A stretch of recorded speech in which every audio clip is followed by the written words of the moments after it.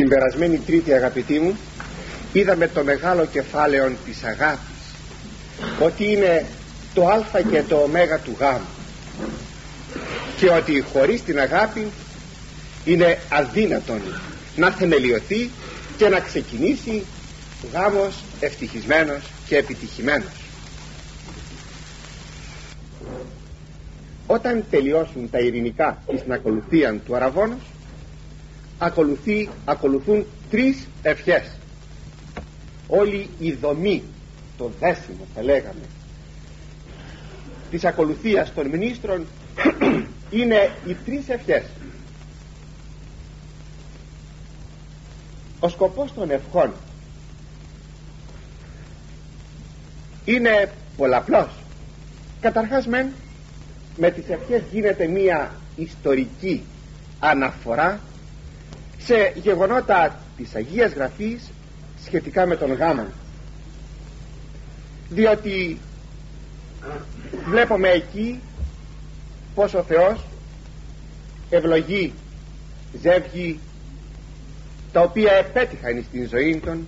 Πολύ συχνά γίνεται αναφορά στον Αβραάμ τον Ισαάκ Αβραάμ και Σάρα Ισαάκ και Ρεβέκα Ιακώβ Λία και Ραχήλ Ιωακήμ και Άννα Ζαχαρίας και Ελισάβετ όλα αυτά τα επιτυχημένα ευτυχή ζεύγη τα οποία ευλόγησε ο Θεός και δια της αναφοράς αυτής ζητούμε και εμείς ως μίαν αιτία να αποσπάσουμε την ευλογία εκ μέρους του Θεού και εις των προκείμενων γάμων. Ακόμη υπάρχει και άλλη μία αιτία. Και άλλος ένας λόγος σημαντικός και σπουδαιότατος που πρέπει οι ευχές να ακούονται. Αυτό το να ακούονται φυσικά δυστυχώς δεν γίνεται πάντοτε ενώ πρέπει να γίνεται πάντοτε. Οι ευχές πρέπει να είναι εις επίκον πάντων. Να μην, να μην μείνει τίποτε απολύτως ε, σκοτεινό ή μυστικό. Ο τρίτος λόγος είναι ότι με τις ευχές γίνεται μία δογματική τοποθέτηση του μυστηρίου. Βλέπει κανείς εκεί κατά έναν πολύ ωραίον άνετον αλλά και σημαντικών τρόπων την δογματική θεμελίωση του μυστηρίου του γάμου. Θα το δείτε αυτό κατά την ανάλυση των τριών ευχών του Αραβόνος όπως και στην ανάλυση των ευχών του μυστηρίου του γάμου παρακάτω έτσι με τη βοήθεια του Θεού προχωρούμε στην πρώτη ευχή η πρώτη ευχή είναι μικρή. Δεν έχει πολλά λόγια. Το κύριο της σημείο είναι αυτό που θα σας διαβάσω. Ο Θεός ο αιώνιος όταν διηρημένα συναγαγών εις ενότητα και σύνδεσμον διαθέσεως της άρρηκτον ευλόγησον και τους δούλους σου τούτου δηλαδή ο Θεός ο αιώνιος σύ ο οποίος συνήγαγες εμάζεψες ό,τι το χωρισμένο και διηρημένο και το οδήγησες στην ενότητα και στον σύνδεσμο και με τον τρόπο αυτόν δημιούργησες ένα άρρηκτον σώμα. Σε παρακαλούμε Κύριε αιώνιε Θεέ ευλόγησε και τους δούλους σου αυτούς να τύχουν αυτού του συνδέσμου και αυτής της ενότητος. Η ενότης τόσο βασικό στοιχείο μέσα στο μυστήριο του γάμου. Και η ενότης την αρχή της την αφετηρία της την έχει στον Θεό. Ο Θεός είναι η συνεκτική η συνεκτική δύναμης συνεκτική αιτία των πάντων. Έξω από τον Θεό υπάρχει ο σκορπισμός. Ο Κύριος μας το είπε σαφώς αυτό. Ο μη συνάγων μετεμού σκορπίζει. Εκείνος ο οποίος δεν μαζεύει μαζί μου στην πραγματικότητα σκορπίζει. Οτιδήποτε. Είτε πλούτος είναι αυτός. Είτε υγεία είναι. Είτε επιστήμη είναι. Είτε τέχνη είναι. Είτε ακούμη και αρετή διότι πρέπει να το τονίσουμε και αυτό το σημείο είναι ένα κάτι πολύ της μόδας πολύ της εποχής μας όπως ήταν και πολύ παλιά τους τρεις πρώτους αιώνες τότε που μεσουρανούσε έξω από την εκκλησία ο γνωστικισμός ο χωρισμός της αρετής από την πίστη. Και σήμερα μπορούμε να μιλάμε περί ναού αρετής όπως επί παραδείγματι ελέγχθη δια την, δια την στοά εδώ των μασόνων ονομάστηκε ναός της αρετής. Έτσι ονόμασαν τον εγγενιαστέντα όπως έμαθα ναών των μασόνων των τεκτώνων. Αλλά ποια αρετή χωρίς το Θεό; Ε είπε ο Χριστός εάν ακόμη το λέει και ένα πολύ πολύ ωραίο τροπαριάκι στον όρθρον της Κυριακής πολλάκις το έχω ακούσει. Εάν μη Κύριος οικοδομήσει τον οίκον της ψυχής των αρετών εις μάτιν εκοπίασαν οι οικοδομούντες. Ούτε και αυτή ακόμη αρετή δεν είναι δυνατόν ποτέ να θεμελιωθεί έξω του Ιησού Χριστού. Πόσο περισσότερο λοιπόν ο γάμος που είναι ένα να το πω έτσι ένα επίζουλον φυτών που έχει τόση ευαισθησία σε κάθε καιρική μεταβολή. Λίγο βοριά λίγο η ζέστη λίγο η ξηρασία όλα αυτά είναι ικανά να βλάψουν το φυτόν που λέγεται γάμος. Είναι δυνατόν λοιπόν έξω από τον Ιησού Χριστόν να μπορέσουμε να έχουμε έναν γάμον επιτυχημένο; Δεν γίνεται. Γι' αυτό λοιπόν ο Θεός είναι εκείνος ο οποίος δίδει τον σύνδεσμον και την ενότητα. Αυτό συνεπώς μπορεί να ενώσει και το καινούργιο αυτό ζεύγος με τον δεσμόν της αγάπης η αμαρτία εχώρισε τους ανθρώπους και μάλιστα η προπατορική αμαρτία τους εχώρισε. Και από τότε η αμαρτία στέκεται ένα διαλυτικό στοιχείο. Βλέπετε μέσα σε μια οικογένεια όταν μπει ο διάβολος μπει η αμαρτία τότε ο καθένας τραβάει το δικό του δρόμο. Ένα δρόμο που ο καθένας απομακρύνεται από το κέντρο που λέγεται οικογένεια ζητούμε λοιπόν από τον Θεό να ξαναενώσει τους ανθρώπους. Τα διηρημένα τα χωρισμένα να τα επανασυναγάγει να τα ξαναμαζέψει. Ωραία το λέγει αυτό ο Απόστολος Παύλος στην προσεφεσίους επιστολή του. Λέγει σπουδάζοντες τη την ενότητα του πνεύματος εν το συνδέσμο της ειρήνης σπουδάζοντες εκείνο το σπουδάζοντες δείχνει ε, την σπουδή δείχνει την φροντίδα δείχνει, δείχνει την επιμέλεια της ψυχής προκειμένου να τηρηθεί αυτή η ενότης και ο σύνδεσμος της ειρήνης. Αλλά η ενότης και ο σύνδεσμος πρέπει να το πούμε μας το λέγει εδώ πολύ καλά είναι καρπός μόνον του Αγίου Πνεύματος. Γι' αυτό και συνεπώς θα επικαλεστούμε αυτόν τον Θεόν να δώσει τον σύνδεσμο και την ενότητα εις το καινούριο ζεύγος που πρόκειται να συμπήξουν οικογένεια λέγει ωραιότατα ο Ιερός Χρυσόστομος όταν λέγει μέσα εις τον γάμο υπάρχουν δύο άνθρωποι που συναντήθηκαν με διαφορετικούς τρόπους αγωγής μορφώσεως οικονομικών συνθήκων φίλου και λοιπά πως είναι δυνατόν αυτοί οι δύο άνθρωποι να μπορέσουν τώρα να ταιριάσουν να συνταχτιστούν δύσκολο πράγμα. Στο σπίτι της μεγάλωσε η κοπέλα στο σπίτι του μεγάλωσε ο νέος. Κάτω από άλλες συνθήκες ο νέος κάτω από άλλες συνθήκες η κοπέλα. Πως τώρα αυτοί οι δύο άνθρωποι θα ταιριάξουν; Τι είναι εκείνο που θα τους κάνει να ταιριάξουν; Λέγει ο, ιερός, ο Ιερός Χρυσόστομος.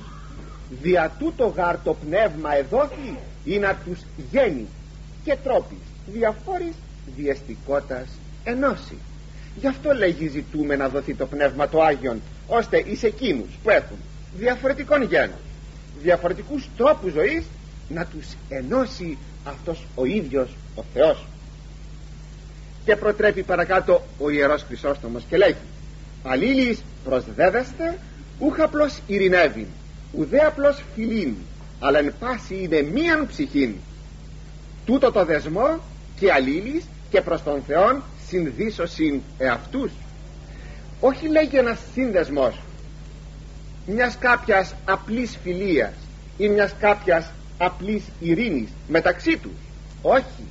Αλλά ένας βαθύς σύνδεσμος. Σύνδεσμος εν κυρίω ένας σύνδεσμος όχι συνεταιρισμός. Όχι μια συμφωνία όχι απλώς όπως το έχω ακούσει και αυτό. Κάποτε ήθελαν δύο άνθρωποι να πάρουν διαζύγιο και είπαν ήρθαμε πολιτισμένα λέγει και πολύ φιλικά να πάρουμε το διαζύγιό μας σαν να μην συνέβαινε τίποτε. Όχι τέτοιες φιλίες. Αλλά κάτι πολύ βαθύ. Και αυτό το πολύ βαθύ ξανατονίζομαι είναι καρπός αυτού του Αγίου Πνεύματος. Ώστε λοιπόν εκείνος ζητάμε το σπουδαίο στην πρώτη ευχή τον σύνδεσμο και την ενότητα του σέβους πόσο υποφέρουν σήμερα τα ζεύγη μες στον γάμον από την έλλειψη αυτής της καταστάσεως είναι αγαπητοί μου πασίγνωστη όμως η ευχή θυμάται. Θυμάται κάτι. Έρχεται σαν μία ηχό η ευχή η πρώτη του Αραβόνος από μία άλλη ευχαριστηριακή ευχή που ελέγεται τον πρώτον αιώνα κατά την τέλεση του μυστηρίου της Θείας Ευχαριστίας. Εκεί που ο ιερεύς λέγει είναι στο βιβλίο της διδαχής τέλη πρώτου αιώνος αρχές δευτέρου αιώνος όσπερ ειν τούτο το κλάσμα διασκορπισμένων επάνω των ωραίων και συνταχθέν εγένετο εν ούτως συναχθήτω σου η εκκλησία από τον περάτων της γης. Κύριε λέγει όπως το ψωμί αυτό τώρα από το οποίο θα κόψουμε και θα βγάλουμε ένα κομμάτι για να γίνει το δικό σου το σώμα. Και το ψωμί αυτό που ήταν στάχια πάνω στα χωράφια στα βουνά και μαζεύτηκε και έγινε ένας άρτος έτσι να συναχθεί από το σκόρπισμα που έχουν οι άνθρωποι στον κόσμο αυτόν να συναχθεί η εκκλησία σου και να αποτελέσει ένα.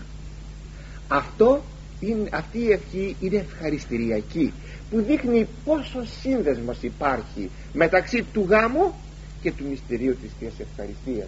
Και όπως ετονίσαμε και σε προηγούμενο θέμα μας ότι οι σύζυγοι προκειμένου να έχουν πάντα τον σύνδεσμο αυτών της αγάπης και της ενότητος θα πρέπει πάντοτε να είναι ενωμένοι και να ξεκινούν από το ποτήρι της ζωής.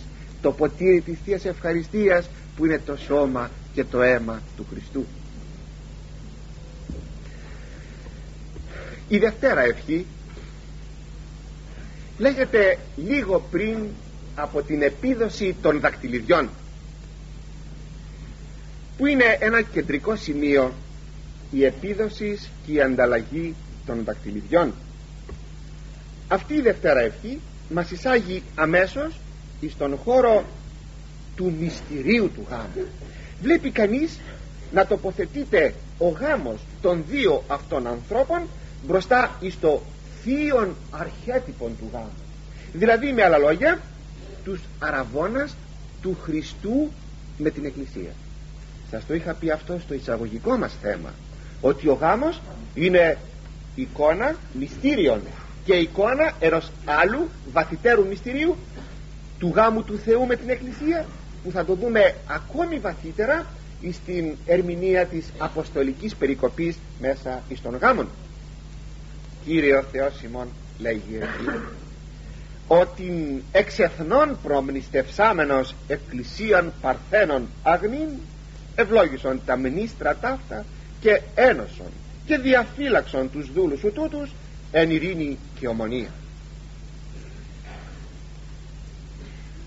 Εδώ έχουμε μια αναπήχηση από ένα άλλο σημείο της Αγίας Γραφής που λέγει ο Απόστολος Παύλος στην Δευτέρα του προς Κορινθίους επιστολήν. «Ηρμοσάμιν γαριμάς εν ανδρή παρθένων αγνήν παραστήσε το Χριστό «Ηρμοσάμιν εγώ. Αρμόζω θα πει αρβωνιάζω αραβωνιάζω. Εγώ λοιπόν ηρμοσάμιν ποιον; Εσάς ως παρθένον αγνήν εις των νυμφίων που είναι ο Χριστός. Εγώ ποιος είμαι λέγει ο Απόστολος Παύλος. Είμαι ο νυμφαγωγός.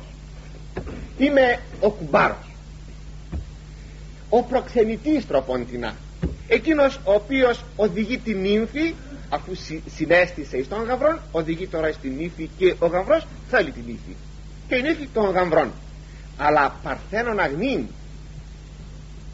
σκεφτόμουν πολλές φορές πάνω στην ευχή αυτή πως μπορεί να είναι παρθένος αγνή ε, η εξεθνών εκκλησία αφού το ήσαν οι άνθρωποι δολολάτροι ήσαν ανήθικοι ήσαν ήσαν τους το λέει αυτός στους Κορινθίους για να φροντίσουν με βάση των ηθικών νόμων του Ευαγγελίου να μπορέσουν να κατασταθούν αγνοί άνθρωποι και έτσι με την αγνότητά τους να ενωθούν αρρήκτος μετά του Ιησού Χριστού.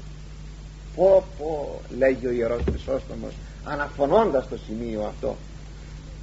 Πριν έρθει ο Χριστός Παρθένος λεγόνταν μόνον εκείνος πριν το γάμο που είχε φυλάξει τον εαυτό του.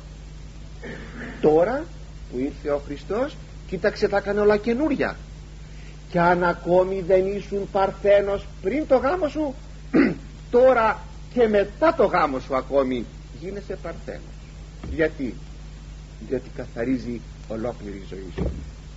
Αυτό το μυστήριο αγαπητοί μου είναι καταπληκτικό μου φαίνεται ότι οι μέλλοντες να λυμφευτούν και εκείνοι που πανδρεύτησαν εάν ανα πάσα στιγμή το έχουν στα μάτια τους μπροστά αυτό το μυστήριο ότι εγώ αποτελώ εικόνα του μυστηρίου της ενώσεως του Χριστού με την Εκκλησία θα τους εμπόδιζε να κάνουν οποιοδήποτε παραστράτημα η σύζυγη. Μην νομίσετε ότι δεν ενδιαφέρει εκείνους που έχουν ήδη πανδρευτεί όπως εμείς θα πρέπει μια φορά το χρόνο δεν ξέρω αν το κάνουμε να ρίχνουμε μια ματιά να βλέπουμε την ακολουθία της χειροτονίας μας. Για να μας υπενθυμίζει μερικά πράγματα. Εκείνο το φοβερό την παρακαταθήκην φύλαξα. Έως τη συντελεία των αιώνων λέει ο επίσκοπος στον ιερέα που χειροτονεί την παρακαταθήκη την εκκλησία που είναι το σώμα του Χριστού. σου βάζει στα χέρια το σώμα του Χριστού και σου λέει την παρακαταθήκη δηλαδή αυτήν ταύτην την εκκλησία που είναι το σώμα του Χριστού φύλαξέ την ποίμανέ την προστάτευσέ την δια της ιδείας σου ακόμη ζωής έως τη συντελεία του αιώνας. Θα δώσεις λόγο στον Θεό για εκείνο που σου εμπιστεύεται τώρα αυτός ο ίδιος ο Χριστός που είναι η νύμφη του. Φεύγει εκείνος μακριά και σου εμπιστεύεται εσένα την νύμφη του αλίμονό σου εάν τα πράγματα δεν πάνε καλά. Αλίμονό σου αν εσύ βρεθείς με αυτήν την εκκλησία μυχός την εγκαταλείψεις. Έτσι μου φαίνεται. Και οι έγγαμοι άνθρωποι πρέπει αν δεν έχουν την ευκαιρία στο σπίτι τους να μελετήσουν γιατί δεν θα έχουν ευχολόγιο την ακολουθία του γάμου όταν πηγαίνουν όμως σε κάποιο γάμο και πηγαίνουμε τόσο τακτικά και παρακολουθούμε ως καλεσμένοι να προσέχουμε πολύ εκείνα τα οποία λέγονται για να μπορούμε να διορθώνουμε αγαπητοί μου εκείνα που δεν καταφέραμε μέχρι τώρα να γνωρίζουμε και συνεπώς να διορθώσουμε. Και αμέσως μετά αφού υποθεί αυτή η ευχή ακολουθεί ο αραβών με τα δαχτυλίδια.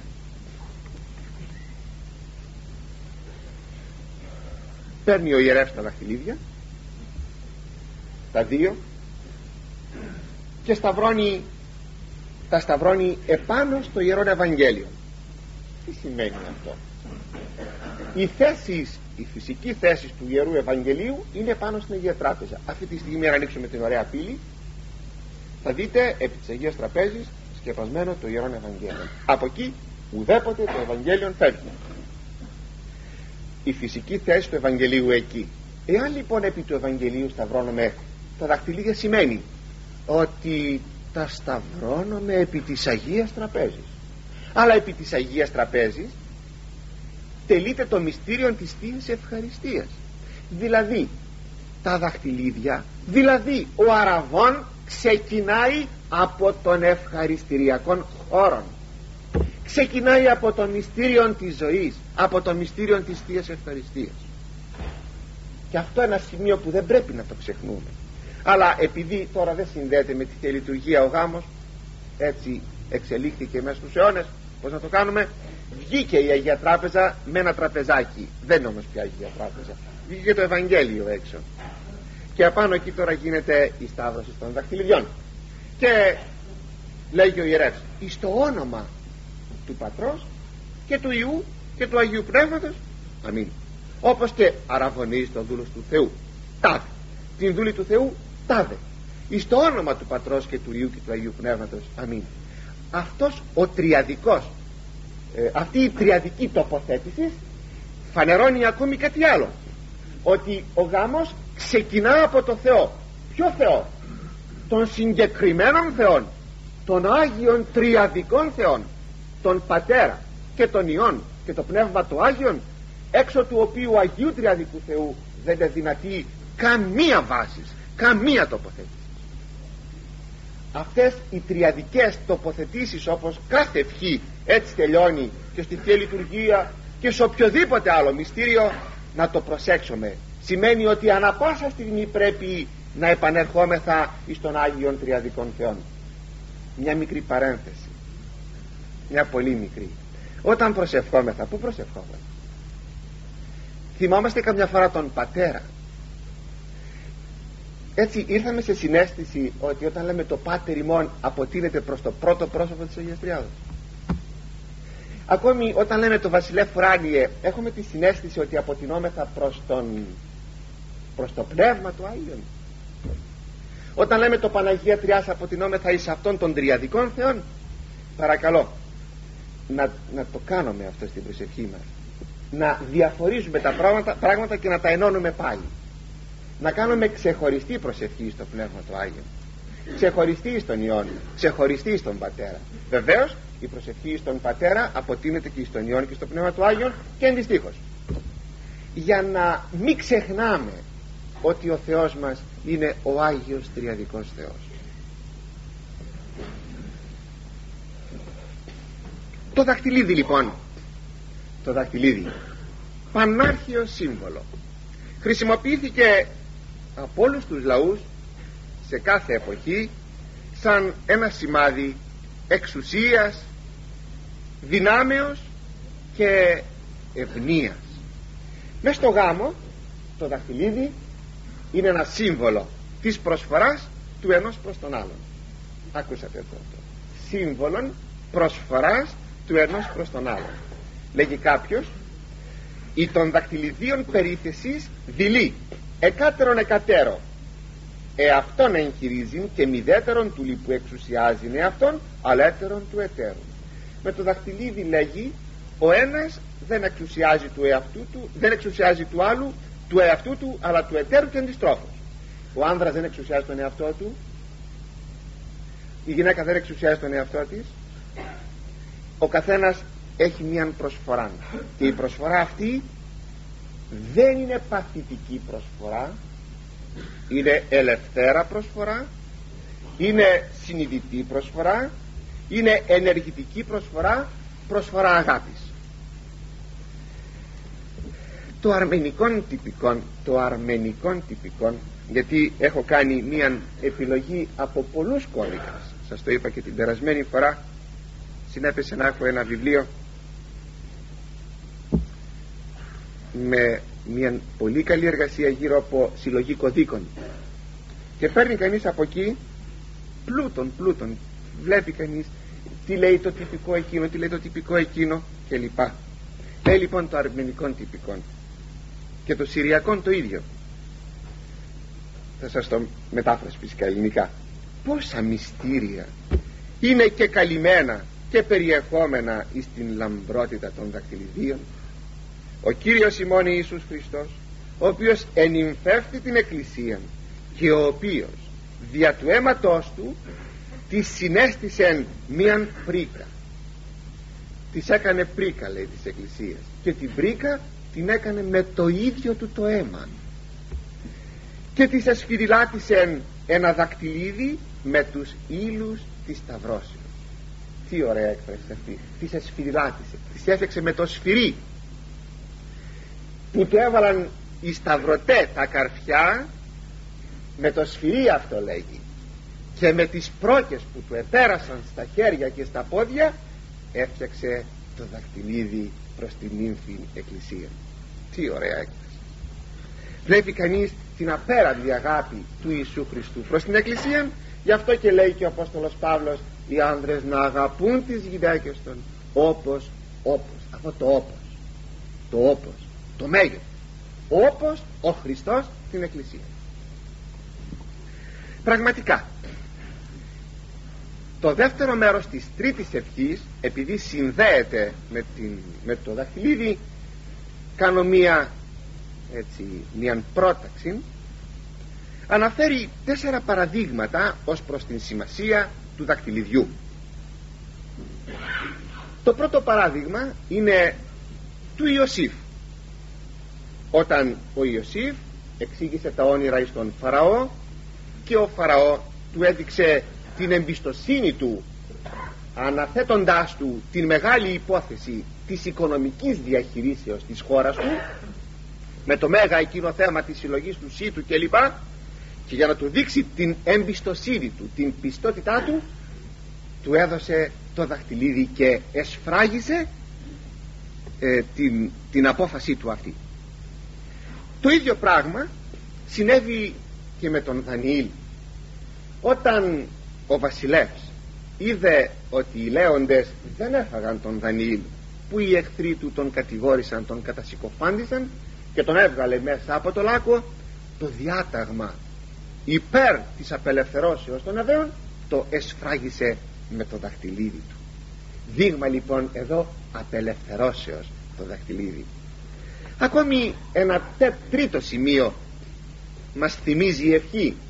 Μας θυμίζει την Θάμαρ. Είναι μια πολύ περίεργη ιστορία η ιστορία της Θάμαρ. Αλλά δεν ξέρω αν κανείς αν πρέπει να την πει. Με δύο λόγια. Ο Ιούδας ο γιος του Ιακώβ είχε τρεις γιους. Και παντρεύτηκε ο πρώτος ο γιος να με συγχωρέσετε βρισκόμαστε στο 1800 π.Χ. θα παρακαλέσω μην το ξεχνάτε όσο διηγούμε τη διήγηση αυτή στο 1800 π.Χ. δηλαδή ούτε καν ο νόμος ο Μοσαϊκός υπάρχει θα εις το ξεκίνημα της ιστορίας του Ισραήλ και οι νόμοι που κυρίως διοικούν τις σχέσεις τις οικογενειακές και κοινωνικές των ανθρώπων ιδίως της οικογένειας του Αβραάμ είναι το βαβυλωνιακό δίκαιο. Αυτό μην το ξεχνάτε. Ό,τι θα σας διηγηθώ παρακάτω. Αλλά ο πρώτος γιος πέθανε δεν άφησε απογόνους και σύμφωνα με το οικογενειακό βαβυλωνιακό δίκαιο έπρεπε να πάρει την γυναίκα ο δεύτερος γιος ο δεύτερος γιος όμως φάνηκε πονηρός λέει απέναντι στον Θεό έκανε μια κακή πράξη. Και ο Θεός τον εθανάτωσε. Ή το ο Αυνάν τον εθανάτωσε. Διότι μια που ήρθε η κουβέντα έκανε παρεμπόδιση της συλλήψεως και τον εθανάτωσε. Εφάνει λέει πονηρών ενώπιον του Θεού η πράξη του Αυνάν και τον θανάτωσε και τότε, και τότε η Θάμαρ έμεινε για δεύτερη φορά χείρα. Έπρεπε και την, να πάρει τον τρίτο γιο.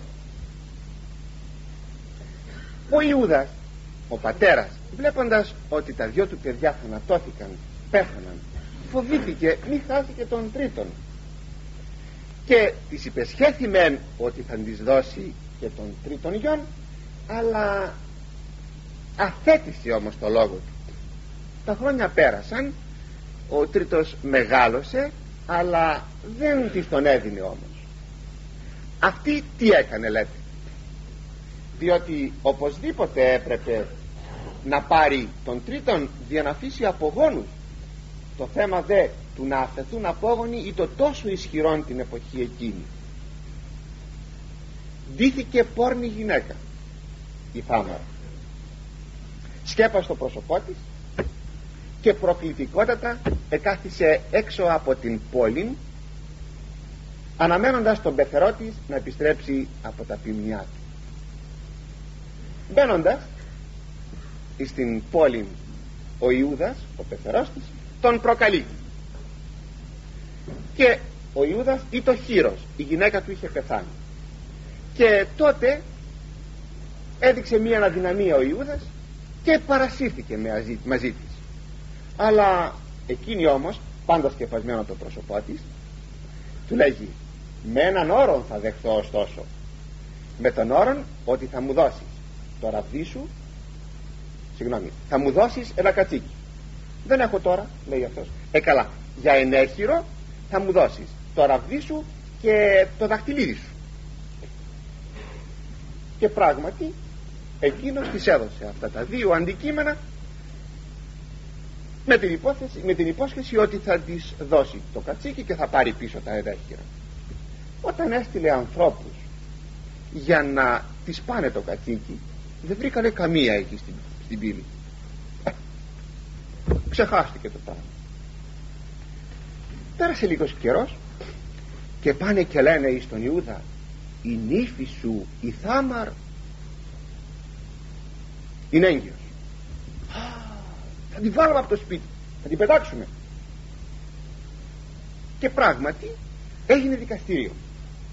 Εκεί στο δικαστήριο που δεν γλίτωνε δηλαδή οπωσδήποτε η Θάμαρα από την υπόθεση αυτή παρουσιάζει το ραβδί και το δαχτυλίδι του πεθερού της.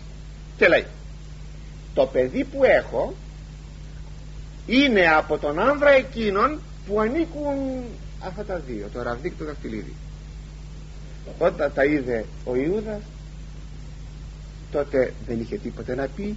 Εσκέφθηκε ότι δεν είχε σταθεί εντάξει στην υπόσχεση της νύφης του να δώσει τον τρίτο του γιο. Και επειδή υπήρχε οπωσδήποτε η ανάγκη να αφαιθούν απόγονοι γι' αυτό σας είπα βρισκόμεθα στο 1800 και μη παρεξηγήστε απολύτως τίποτε έκανε αυτό που έκανε η Θάμα συνεπώς το δαχτυλίδι στην περίπτωση αυτή είναι το σύμβολο ότι οι υποσχέσεις πρέπει να τηρούνται. Και θα ήθελα να, να πω εδώ κάτι. Όταν γίνεται το συνοικέσιο όταν τέλος πάντων φτιάχνονται μεταξύ των δύο νέων δηλαδή ε, μεταξύ των σπιτικών των δύο νέων και κοιτάζονται και υπόσχονται και τα λοιπά τι γίνεται; Δηλαδή όταν τάξουν στην ύφη θα σου δώσω με εκείνο το σπίτι. Και όταν παντρευτεί η κοπέλα κατόπιν δεν δίνουν τίποτα οι γονείς. Γιατί το κάνουν αυτό; Και γιατί πολλές φορές με τον τρόπο αυτόν οδηγούν σε δυσκολία το ζεύγος; Και πολλές φορές ακόμη και στο διαζύγιο οδηγούνται. Όταν δεν είναι άνθρωποι θεμελιωμένοι όταν δεν έχουν φόβο Θεού ο, ο σύζυγος δεν έχει φόβο Θεού και μπορεί να αφήσει την γυναίκα του και να φύγει διότι εξυπατήθη από τα πεθερικά του. Και τούτο διότι δεν εστάθησαν ευθύς εις υποσχέσεις των τι γίνεται παρακαλώ; Γι' αυτό ας προσέξουμε το σημείο αυτό. Το δαχτυλίδι είναι και δαχτυλίδι σύμβολων υποσχέσεων. Ό,τι υποσχεθεί κανείς αυτό πρέπει και να δώσει. Διότι αλλιώς πως δημιουργούνται ανομαλίες και ταράσουν την ειρήνη και την ευτυχία των συζύγων. Τέλος ένα τέταρτο σημείο είναι το δαχτυλίδι που εδόθηκε εις τον άσο των ιών. Και είπε ο πατέρας δώσατε του λέει δαχτυλίδι εκεί θυμάται η ευχή για ποιο σκοπό ο Θεός έδωσε είπε να δοθεί το δαχτυλίδι στον άσο των ιών που αντιπροσωπεύει την ανθρωπότητα. Αγαπητοί μου το δαχτυλίδι στο τέταρτο κυρίως σημείο είναι η συνοπτική ιστορία της ανθρωπότητας. Δείχνει τον άνθρωπο το παιδί του Θεού που φεύγει από τον πατέρα με την αμαρτία και όταν μετανιωμένος γυρίζει πίσω ο Θεός συγχωρεί και ακόμη κάτι άλλο υπόσχεται να αποκαταστήσει. Υπεσχέθη ο Θεός εις τους πρωτοπλάσους όταν έπεσαν στην αμαρτία ότι θα στείλει κάποιον για να τους λυτρώσει. Και της υποσχέσεώς του αυτής ο Θεός δεν εφάνηκε ψεύτης. Ε λοιπόν το δαχτυλίδι όλα αυτά συμβολίζει.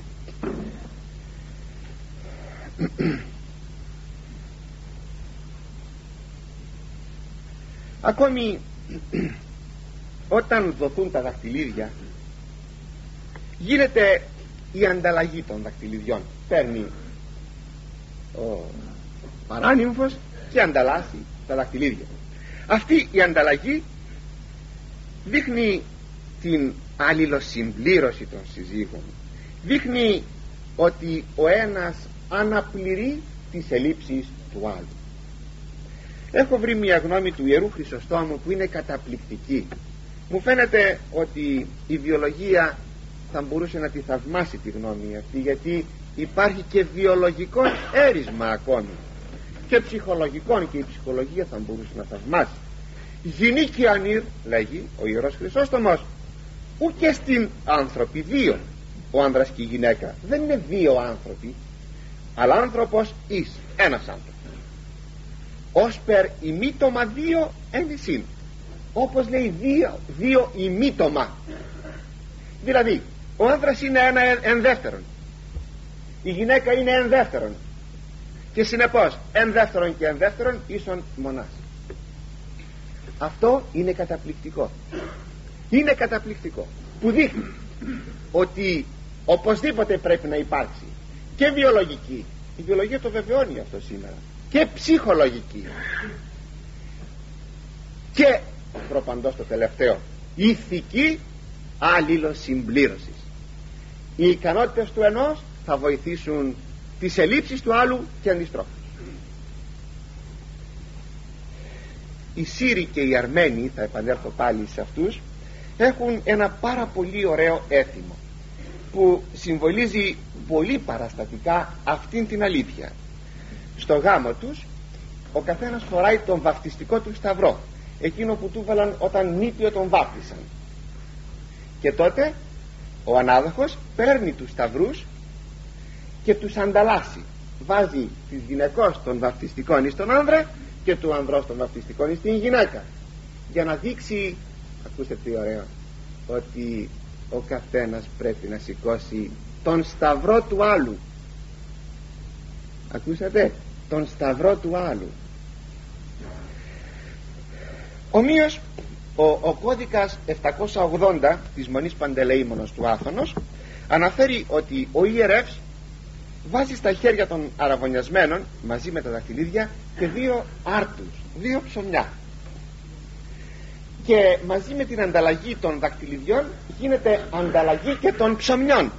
Ένας άλλος κώδικς λέγει γίνεται και ανταλλαγή κεριών. Αλλά ας μην μείνουμε σε αυτό το σημείο. Μόνο εις τους άρτους να μείνουμε. Οι άρτοι τις συμβολίζουν. Συμβολίζουν τα αγαθά που έχει ο καθένας. Φυσικά ο άνδρας έχει το επαγγελμά του. Άρα έχει πόρους να ζήσει. Η γυναίκα έχει και εκείνη την πρίκα της. Ξέρω εγώ ό,τι θα δώσει ο πατέρας της. Άρα και εκείνη έχει κάποιους πόρους. Συνεπώς εδώ τώρα έχουμε κοινή προσφορά αφού είναι ένας άνθρωπος μία οικογένεια θα πρέπει και τα αγαθά να σταθούν κοινά.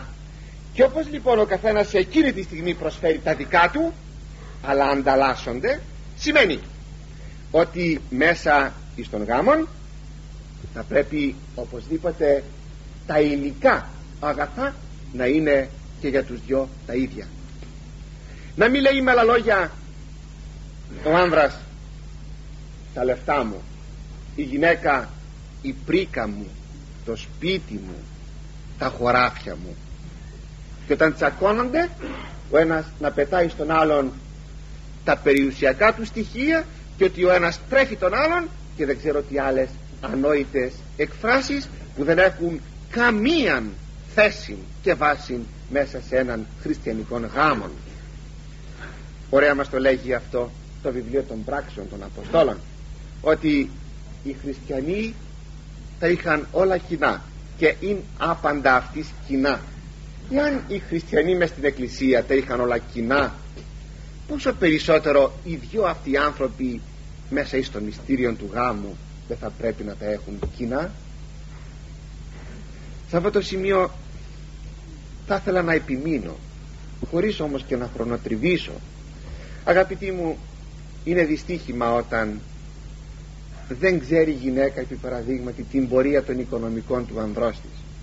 Όχι ότι θα πρέπει να καθίσει να δώσει λεπτομερή λογαριασμό αν πλήρωσε ο τάδε πελάτης ή όχι. Όχι αυτό όχι. Είναι ανόητο. Δεν στέκεται αλλά να ξέρει όμως που βρισκόμαστε. Μπορεί κάποτε η γυναίκα να ξοδεύει χωρίς να σκέπτεται χωρίς να ξέρει όχι να σκέπτεται ότι ο άνδρας της μπορεί να είναι σε μια οικονομική δυσκολία. Γιατί, γιατί δεν το ανακοινώνει ο άνδρας και κάποτε βρισκόμεθα μπροστά σε απρόοπτες καταστάσεις. Σε απρόοπτες καταστάσεις. Όπως και η γυναίκα μπορεί να ξοδεύει ε, συγγνώμη ο άνδρας μπορεί να ξοδεύει και να μην δίνει ε, γυναίκα να ξοδεύει και να μην δίνει λογαριασμό στον άνδρα. Και εκείνος ομοίως να βρεθεί εκτεθειμένος. Μου φαίνεται ότι πρέπει να υπάρχει ένα κοινών ταμείο και μία κοινή γνώση των οικονομικών είναι πολύ κακό πράγμα να κρατάει ο άνδρας τα χρήματα και να δίνει ένα δεκάρικο στη γυναίκα για να περάσει την ημέρα της και όταν εκείνη διαμαρτύρεται και λέει μα δεν φτάνει αυτό για να μαγειρέψουμε να λέγει τόσο είναι γιατί θα πίστευε ο άνδρας ότι η γυναίκα του θα, θα έκανε σπατάλι και ότι δίνοντάς του το δεκάρικο εκείνη θα βγάλει το φαγητό της ημέρας. Άνθρωπέ μου επειδή έχω άνδρας ακουρατήριος επιτοπλίστων θα σε εκλέψει θα βάλει το χέρι στο παντελόνι θα βάλει στο πορτοφόλι θα σε κλέψει. Γιατί να μην υπάρχει εδώ μια συμφωνία μια αγάπη πάνω στο ζήτημα; Να καταλαβαίνει η γυναίκα πρέπει να είναι νοικοκυρά. Δεν θα ξοδέψει κάτι παραπάνω. Δεν πρέπει. Θα μου πει ίσως κάποιος κυρίως ότι μα εάν η γυναίκα είναι σπάταλη μου φαίνεται ότι όσοι έρχονται εδώ και οι κυρίες και οι κύριοι αυτό το θέμα δεν θα υπάρχει. Δεν θα υπάρχει τι σπατάει εκείνοι που σπαταλούν αλόγιστα δεν είναι εδώ μέσα. Και τουλάχιστον εκείνοι που με ακούνε ε, ας το καταλάβουν αυτό. Στο, στο σημείο αυτό θα παρακαλέσω να υπάρχει μια πιο πολύ ανθρωπιά μια πιο πολύ κατανόησης. Πολλά ζεύγη υποφέρουν εξαιτίας μιας κακής τοποθετήσεως των οικονο, της οικονομικής διαχειρίσεως του σπιτιού τέλος πηγαίνουμε στην τρίτη ευχή. Η τρίτη ευχή είναι πλουσιωτάτη Κύριε ο Θεός ημών ο το παιδί του Πατριάρχου Αβραάμ συμπορευτής εν τη Μεσοποταμία στελωμένον ημφεύσαστε το κυρίο αυτού Ισαάκ γυναίκα και διαμεσιτείας ιδρεύσεως αραβωνήσαστε την Ρεβέκα να αποκαλύψας αυτός ευλόγησον τον Αραβώνα τον δούλο σου τούτον κλπ εδώ η ευχή θυμάται το πως έγινε το προξενιό το συνοικέσιο τρόποντινα του Ιακώβ συγγνώμη του Ισαάκ του παιδιού του Αβραάμ. Αξίζει να το διηγηθούμε λιγάκι. Είναι μία από τις πάρα πολύ ωραίες και χαριτωμένες διηγήσεις της Παλαιάς Διαθήκης. Δεν ήθελε ο Αβραάμ να πάρει το παιδί του Χανανέα δεν ήθελε είδε ότι οι Χαναναίες δεν ήσαν καλές γυναίκες. Ήθελε να πάρει από την πατρίδα του από τη γη Χαράν. Η απόσταση όμως που τους εχώριζε από την Βυρσαβέ ήταν 900 χιλιόμετρα από τον Εύρο στην Κρήτη πάνω κάτω. Και έπρεπε να πάει λοιπόν κάποιος εκεί με τα πόδια φυσικά για να βρει νύφη. Και πως θα την έβρισκε καταλαβαίνετε το θέμα δύσκολο πολύ.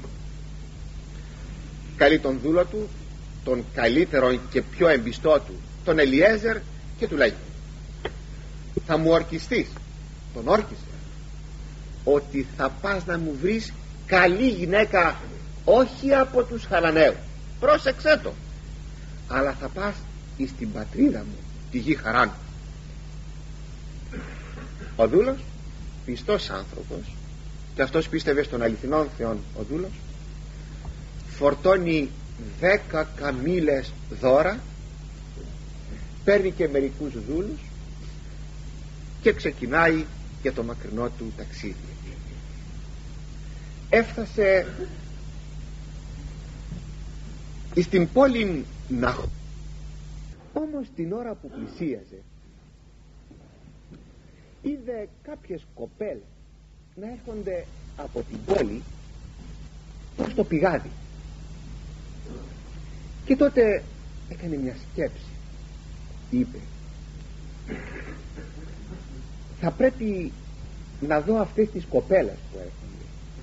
Αν καμιά από αυτές είναι καλή πως όμως μπορώ να ξέρω. Εύκολα ένας άνθρωπος μπορεί να γίνεται γνωστός στον άλλον. Γι' αυτό θα προσευχηθώ. Εγωνάτισε αγαπητοί μου ο Ελιέζερ και αποτείρεται εις των μεγάλων νυμφαγωγών των θεών και είπε μια υπέροχη προσευχή.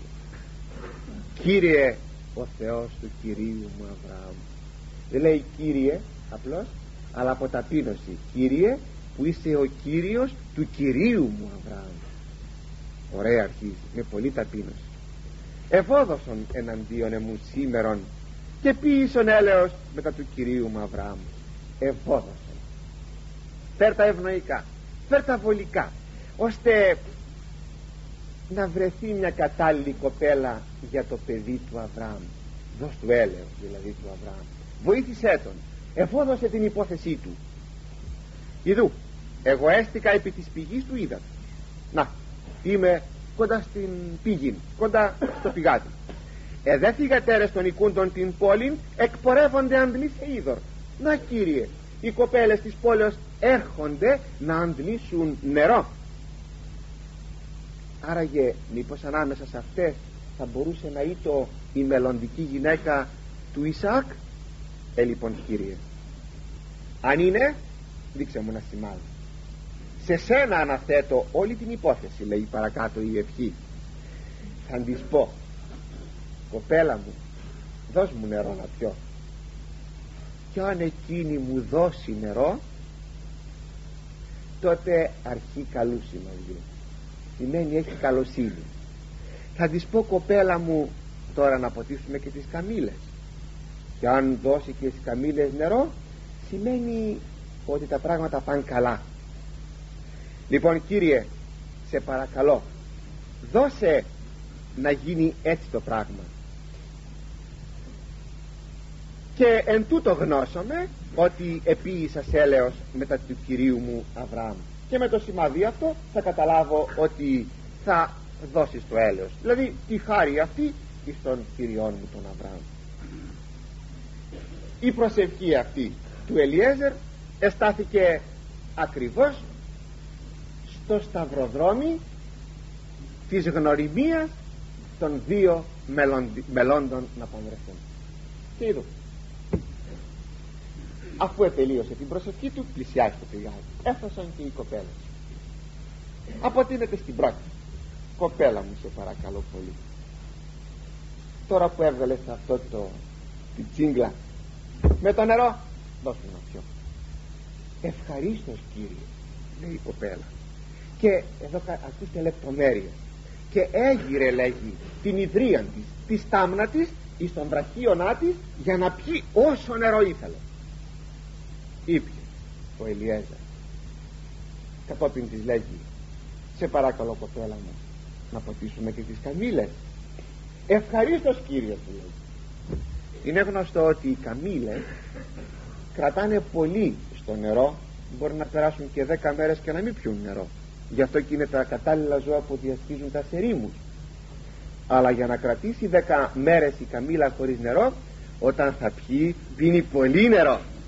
Έτσι λοιπόν λέγει εκεί λεπτομερι, λεπτομεριακός ότι υπήρχε ένα ποτιστήριο μία γούρνα για τα ζώα πόσες κουβαδιές θα πρέπει να έβγαλε η κοπέλα αυτή για να ποτίσει δέκα καμήλες; Πόσες κουβαδιές; Πολλές ασφαλώς και αφού ήπιανε και οι καμήλες μετά λέγει στον Ελιέζερ.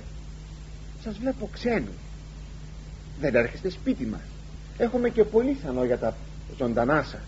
Και να σας φιλοξενήσουμε απόψε ο Ελιέζερ άρχισε μέσα του να δονείται. Τι καλοσύνη είναι αυτή τι υπέροχη κοπέλα είναι αυτή. Βρισκόμαστε στο 1800 π.Χ. μην το ξεχνάτε αυτό τι καλοσύνη είναι αυτή δεν παίρνει ως κριτήριά του την ομορφιά της γιατί η κοπέλα αυτή ήταν πάρα πολύ ωραία κοπέλα. Δεν παίρνει ως κριτήριο αυτό αλλά κριτήριο παίρνει τα εσωτερικά χαρίσματα τα ψυχικά την καλοσύνη της την ευγενιά της την προσφορά της. Και τρέχει η κοπέλα στο σπίτι της να αναγγείλει ότι υπάρχουν ξένοι και να τους φιλοξενήσουν. Ήρθε πράγματι ο αδελφός της κοπέλας είδε τους ξένους. Εδώ ακόμη κάθεστε. Ελάτε στο σπίτι μας να σας φιλοξενήσουμε. Και πράγματι επήγαν στο σπίτι. Αμέσως να πλύνουν τα, έδωσαν νερό να πλύνουν τα πόδια τους οι άνθρωποι. Μένω στις λεπτομέρειες για να δει κανείς πόσο όμορφη εικόνα μας δίνει εδώ η Αγία Γραφή. Έδωσαν σανόστα ζωντανά και εκάθισαν να φάγουν άρτους. Δηλαδή ετέθη γεύμα δείπνο.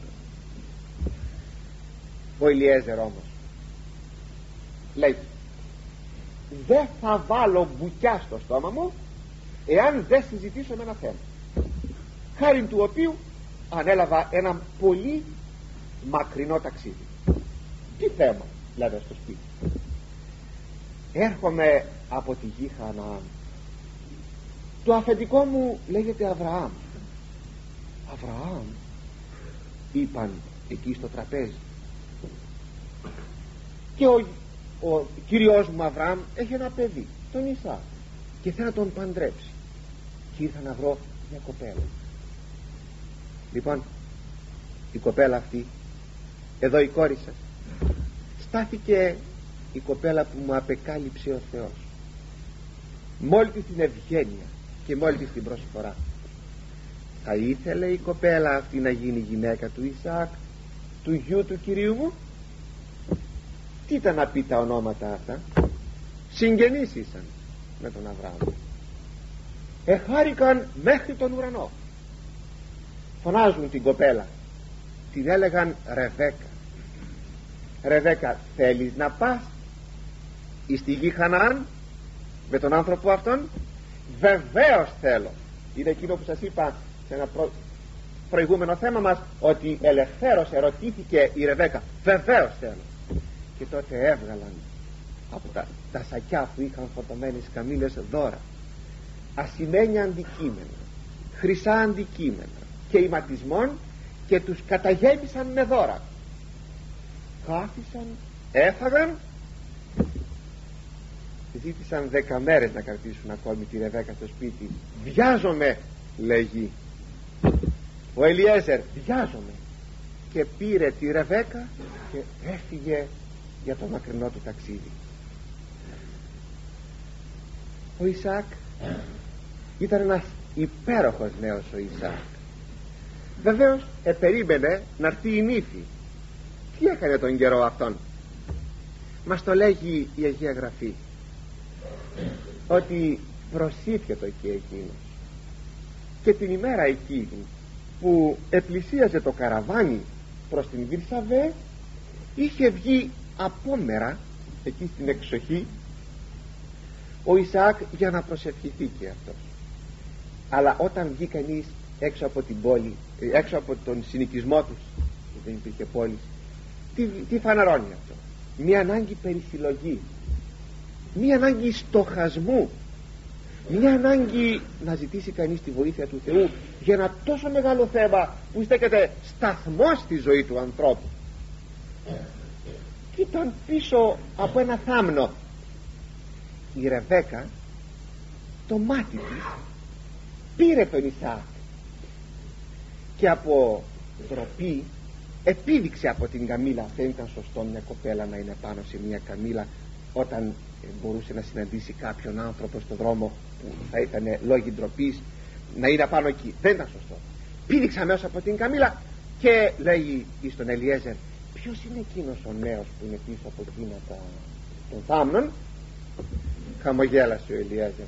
Είναι ο Ισάκ και τότε έγινε εκεί η γνωριμία κατέβασε λέγει το, το θερετζέτ ένα, ένα κάλυμα στο πρόσωπό της εντράπηκε η Ρεβέκα και πήγαν στο σπίτι και λέγει εκεί θαυμάσια ότι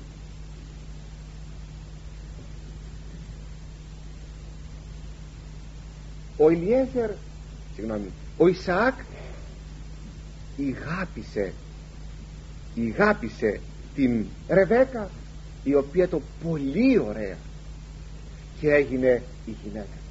Εκείνο το ηγάπησε την Ρεβέκα. Δείχνει όλο το βάθος δυο στοχαστικών ανθρώπων που ξεκινούν για το γάμο τους. Ας δούμε μία παρατήρηση στο σημείο αυτό. Αγαπητοί μου ποιο είναι εκείνο που το στοιχείο που κατά κάποιο τρόπο θα φέρει σε μία συνάντηση δύο ανθρώπους μήπως είναι το πάρτι δηλαδή θα αφήσει η μητέρα την κόρη να πάει στο πάρτι να πηγαίνει όχι να πάει να πηγαίνει στο πάρτι μόνο και μόνο για να αγρέψει κάποιον γαμπρόν από εκεί. Μήπως θα αγρευτεί ο γαμβρός από το πεζοδρόμιο ή από τους κινηματογράφους. Τέλος πάντων είναι υπόθεσης αγρέψεως ψαρέματος εκεί θα ψαρευτεί ο γαμβρός. Ή ακόμη και η νύμφη όταν ο γαμβρός ξεκινά να ψαρέψει εκεί θα βρει την ύφη μην απατώμεθα. Οι τόποι αυτοί δεν οδηγούν ποτέ σε ευτυχισμένους γάμους η περικοπή μας το έδωσε ανάγλυφα. Το βασικό εκείνο στοιχείο που θα βοηθήσει στην έβρεση του άλλου ανθρώπου είναι ο Θεός η προσευχή που ο, δια της προσευχής ο Θεός θα δώσει τον ζητούμενον άνθρωπο. Λέγει σαφώς το βιβλίο των παροιμιών ότι παρακυρίου αρμόζεται ανδρίγινη ότι αρμόζεται, αρμονιάζεται. Από τον Θεόν λέγει γίνεται ο αραβών προς τον άνδρα. Συνεπώς συνεπώς ο Θεός είναι ο νυμφαγωγός. Ο Ηλιέζερ το είπε χαρακτηριστικά. Αυτή η γυνή είναι τίμασε Κύριος το εαυτού θεράποντι Ισαάκ αυτή είναι η γυναίκα που ετοίμασε ο Κύριος. Συνεπώς ο Κύριος ετοιμάζει τον μελλοντικό γάμο. Μην απατώ. Δεν είναι λοιπόν στους τόπους που ανέφερα προηγουμένως ούτε ο γαμβρός εκεί ούτε η νύφη ούτε θα το πω αυτό γιατί το έχω μέσα μου με καίει. Ούτε εάν θα βάλει η, μητέρα στην κόρη μήνυ ρούχα με τον τρόπο αυτόν θα βρει τον γαμβρόν. Μην απατώμεθα ή θα την παντρέψει μικρή για να αποφύγει την πρίκα. Είναι όλες αυτές οι λύσεις πολύ κακές. Είναι σατανικές λύσεις. Διότι στο τέλος τέλος θα τις γυρίσει πίσω η κόρη. Καταλαβαίνετε πως θα τις γυρίσει πίσω της μάνας λοιπόν προς Θεού δεν είναι λύση αυτό αλλά η εντιμότης η σεμνότης και η αγνότης και η προσευχή είναι εκείνα που θα οδηγήσουν εκεί που πρέπει. Είναι χαρακτηριστικό. Οι παλαβούτσικοι νέοι μας εκείνοι που χοροπηδούν και θέλουν παλαβούτσικες κοπέλες όταν κάποτε πρέπει να σκεφτούν για το γάμο τους σοβαρά δεν διαλέγουν ποτέ από το ρεπερτόριο των φιλανάδων των γυναίκα και μητέρα των παιδιών του. Πάντα θα ζητήσουν και είναι χαρακτηριστικό αυτό οι πιο ανήθικοι νέοι θα ζητήσουν πάντοτε την πιο ηθική γυναίκα. Γιατί, γιατί μέσα στη βρωμιά τους εγνώρισαν τι σημαίνει ανήθικη γυναίκα. Συνεπώς μη ζημιώνει η κοπέλα με τον τρόπο αυτόν. Είναι θέμα πίστεως. Να νιώσει ότι με το να μείνει η σεμνή κοπέλα θα βρεθεί ο γαμβρός και μάλιστα γαμβρός όπως ο Θεός θέλει. Στο προσέξουμε παρακαλώ το σημείο. Είναι μια πληγή η οποία μαστίζει τις ε, ελληνικές μας οικογένειες και γενικότερα τις χριστιανικές μας οικογένειες. Πρέπει λοιπόν να γίνει προσέξη θα έλεγα η κοπέλα νέε μου την οποία θέλεις για γυναίκα σου έχει γεννηθεί βεβαίως. Αναπνέει βεβαίως. Πλάθη όνειρα για κάποιον μελλοντικό της σύζυγον βεβαίως.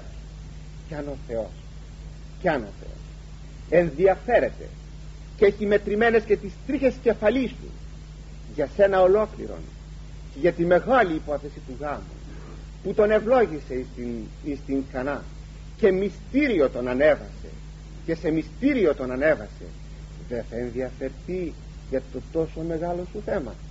Ε λοιπόν αν η κοπέλα αυτή ζει και υπάρχει και αυτή ασφαλώς θα προσεύχεται προσευχή σου και εσύ. Και ο μεγάλος νυμφαγωγός ο Ιησούς Χριστός οπωσδήποτε θα φέρει σε συνάντηση τις πορείες της ζωής σας. Στο σταυροδρόμι της γνωριμίας σας.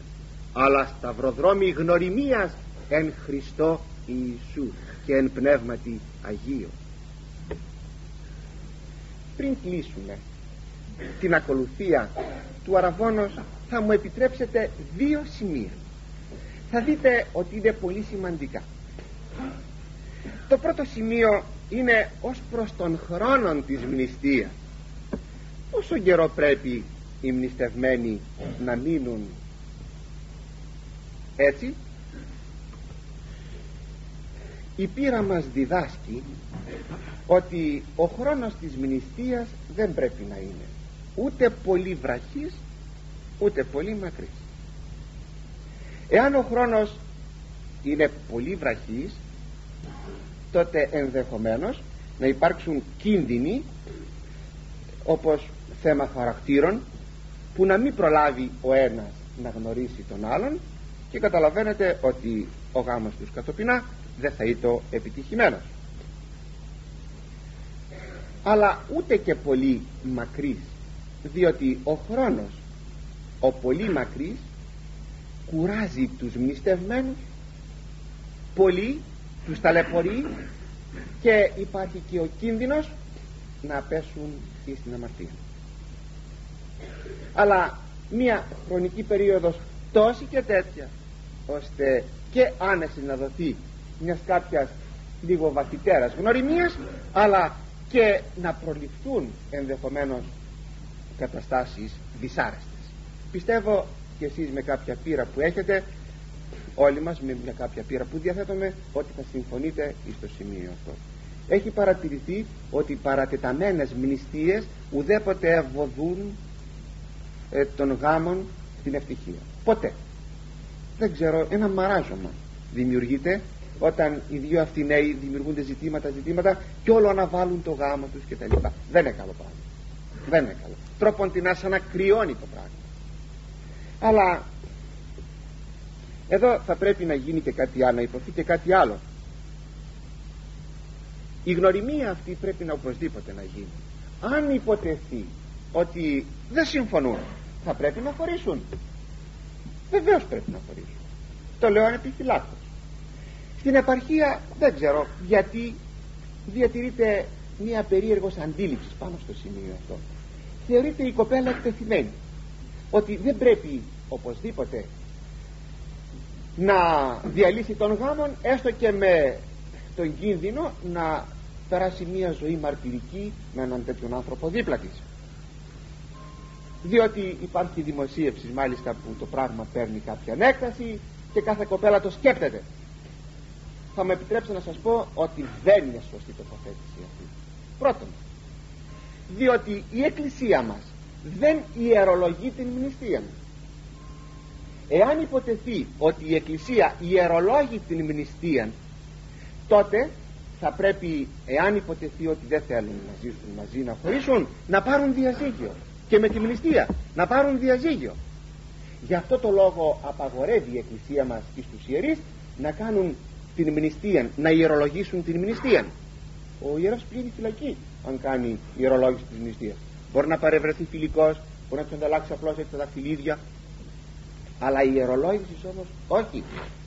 Τι σημαίνει αυτό; Σημαίνει ότι δεν υπάρχει κανένας δεσμός τίποτα αν λοιπόν υποτεθεί ότι οι δύο αυτοί νέοι δεν συμφωνούν μου φαίνεται ότι θα πρέπει να χωρίσουν. Διότι το ξαναλέμε δεν είναι αμάρτημα.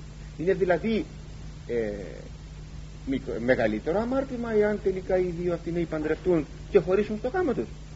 Εκεί αγαπητοί μου αν έρθει κάποιος και μου πει ότι με συμβουλευτεί να χωρίσει το παιδί μου, το κορίτσι μου, τα γόρι μου θα έλεγα πάντοτε όχι όχι ενώ τώρα εδώ δεν υπάρχει τίποτα θέμα. Να χωρίσουν. Γι' αυτό ακριβώς υπάρχει αυτή η περίοδος. Να γνωριστούν ώστε αν δεν συμφωνούν ο καθένας να πορευτεί εις τα ίδια. Στο σπίτι. Τίποτα. Με αγάπη, με φιλία, χωρίς φωνές, χωρίς κλάματα, χωρίς τίποτα. Έτσι μου φαίνεται. Αλλά και ένα δεύτερο σημείο. Και τελευταίο. Είναι το σημείο της αγνότητος των δύο νηστευμένων ήδη από την ακολουθία του Αραβόνος προαναγγέλλεται αυτή η αγνώτης όχι μόνο μέσα στο γάμο αλλά και κατά την περίοδο της νηστείας ως εξής υπέρ του διαφυλακτήνε αυτούς εν αμέμπτο βιωτή και πολιτεία του Κυρίου Δεϊθόνου. Υπέρ του διαφυλακτήνε αυτούς εν αμέμπτο βιωτή και πολιτεία.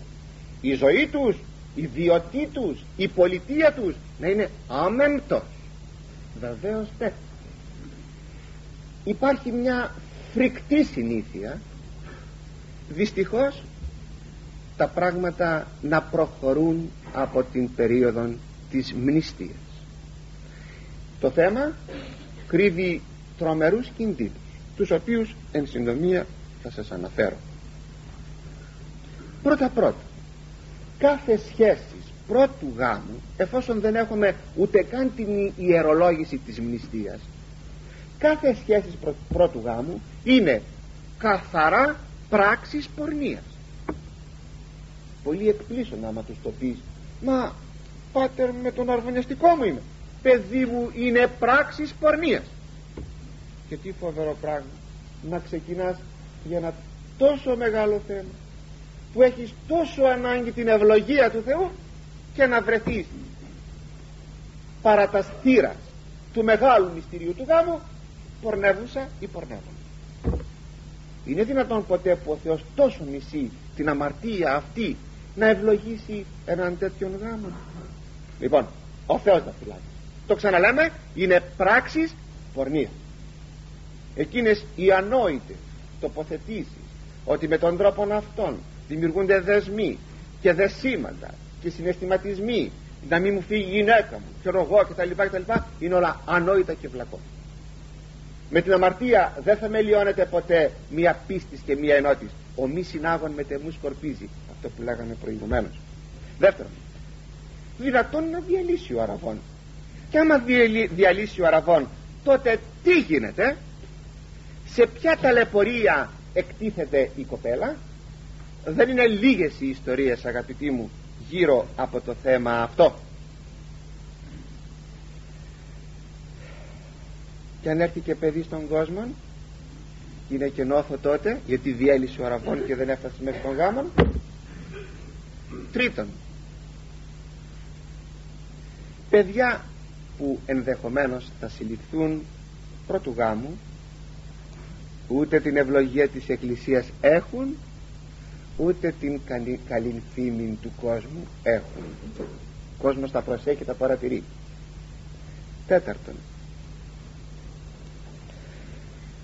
Πολλές φορές επειδή ακριβώς υπάρχει αυτό το κοινωνικό αίσθημα ανεπτυγμένο τι θα πει ο κόσμος; Οι μνηστευμένοι αφού προχώρησαν στην αμαρτία τους τώρα προτιμούν να προβούν εις έκτρωση τι σημαίνει αυτό; Σημαίνει ότι δίπλα εις το αμάρτημα το πολύ μεγάλο της πορνείας προσθέτουν το αμάρτημα το έγκλημα του εκουσίου φόνου. Ακόμη εγκυμονεί ένας πολύ μεγάλος κίνδυνος. Να πεθάνει η κοπέλα. Θυμούμαι κάποτε στο γενικό νοσοκομείο της Λαρίσης μια κοπέλα γύρω από 20 χρονών. Θα ήταν την είχαν φέρει κακήν κακός που είχε αποπειραθεί να κάνει μια έκτρωση ευτυχώς εξομολογήθηκε. Ήταν εκείνος ο θάλαμος. Όλοι έκλεγαν πραγματικά. Ήταν σε αθλία κατάσταση η κοπέλα. Είχε γνωρίσει κάποιον της είχε υποσχεθεί γάμον προχώρησε η σχέση του δεν την παντρεύτηκε φυσικά την άφησε αυτός. Η γυναίκα, η κοπέλα προχώρησε σε έκτρωση και τώρα κινδύνευε η ζωή της. Τελικά απέθανε η κοπέλα. Απέθανε είναι μερικά χρόνια που συνέβη αυτό. Και μην ξεχνάμε και κάτι άλλο ότι όταν συμβεί η έκτρωση πολλάκις τα ανδρόγυνα τα ζεύγη μένουν στο γάμο άκληρα διότι μπορεί να συνέβη κάποια βλάβη ενδεχομένως και την αμαρτία τους αυτή θα την πληρώσουν τρομερά. Και ένα πέμπτο σημείο. Υπάρχει λόγοι ψυχολογικοί. Δηλαδή γυναίκα που με πολλή ευκολία μπορεί να παραδοθεί στις απαιτήσεις του άνδρος έστω κι αν με τον τρόπο αυτό θα ήθελε να του δείξει ότι τον αγαπά έστω κι αν ακόμη ικανοποιήθηκε ο εγωισμός του άνδρος μέσα στο γάμο η υπόλοιψη της γυναικός μπροστά τον άνδρα ξεπέφτει. Ξεπέφτει και κινδυνεύει πολλές φορές η ίδια η γυναίκα να γίνει αντικείμενο σοβαρής καχυποψίας να λέγει κάθε αυτόν ο άνδρας εάν δεν δυσκολεύτηκε η γυναίκα μου να δεχτεί αυτό πρώτου γάμου τι θα την εμπόδιζε δεν ξέρω ο διάβολος βάζει πολλές τέτοιες σκέψεις. Τι θα την εμπόδιζε να προχωρήσει στην αμαρτία και με κάποιον άλλον όταν εγώ θα απουσιάσω και μπαίνει η υποψία η υποψία μεγαλώνει γίνεται ζηλοτυπία το σαράκι της ζηλοτυπίας κατατρώγει το σπίτικο και φυσικά έστω και αν η γυναίκα ουδέποτε δεν σκέφτηκε ή διανοήθη κάτι τέτοιο όμως η ζηλοτυπία μπήκε και έτσι η οικογένεια τελικά καταντάει δυστυχισμένη. Συνεπώς ο χρόνος αγαπητοί μου της μνηστείας πρέπει να είναι και δια τους δύο μνηστευμένους χρόνος πολλής περισυλλογής όπως έκανε και ο Ισαάκ χρόνος προετοιμασίας και χρόνος αλληλοκατανοήσεως αλληλοεξερευνήσεως. Να βρει ο ένας την ψυχή του άλλου ώστε εκείνο που τους έφερε η πρώτη αγάπη εκεί κάπου να γεννηθεί και η δεύτερη αγάπη που λέγαμε την περασμένη φορά. Έχουν τόσα πράγματα να πούν. Έχουν να θυμηθήσουν ο ένας τον άλλον. Να ασκηθούν στην υπομονή. Να ασκηθούν στην αγνότητα. Στην πίστη, στην προσευχή. Και μην ξεχνούμε ότι η αγάπη η αγνότητα η πίστη και η προσευχή είναι το βασικό θεμέλιο του γάμου που θεμελιούται κατά την περίοδο της μνηστείας.